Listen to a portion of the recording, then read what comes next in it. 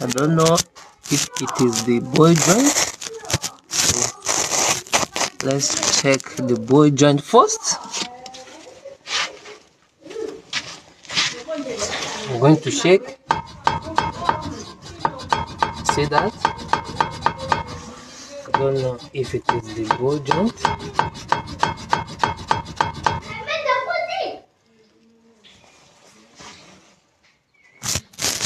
on the steering rack. That's the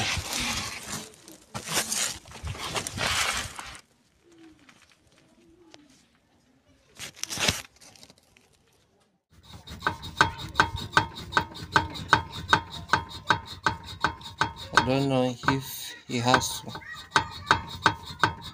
be shaking like that and the hose is gone. The tie rod too. So that is it. I'm going to check the other side and see how it goes. Okay guys. Yes. Um this is i just want to show you guys yes how ball joint the bad ball joint look like and the good one. Yes this is good one. Yes i get this one from one of my friend. Yes he get it for me. Uh, when i told him that i need something like this so he get it for me. This is the one i removed from my car. Yes initially you can see the video. So for you to see the bad one you can see the clearance. Yes you see this clearance?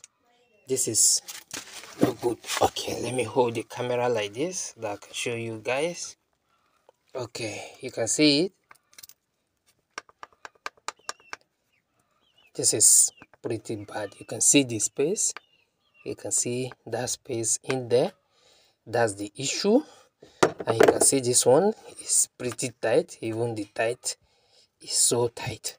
So that is it. That is the the way this thing go bad. Yes just get another one and put it. Yes to lose it is pretty simple. So this is a 17 millimeter and a t70 like in between. Then this this bolt here is 17 millimeter to 17 millimeter. Uh yeah you got to if you want to lose it you got to lose the top i mean this 17 millimeter. You lose it first and uh, buy it yes you can see right here.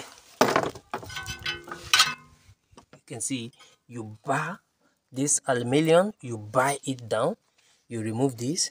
Then to lose this you put the 17 and uh, 70 t70 lik then it will lose right out. Uh, yeah you need to lose the shocks too. Yes you lose the shocks and uh, that is it. So you can see i'm going to uh, assemble it back and that is it. So that is it. How to know bad bone joint is. So thank you for watching guys. Please comment um, subscribe uh, please like comment and uh, subscribe.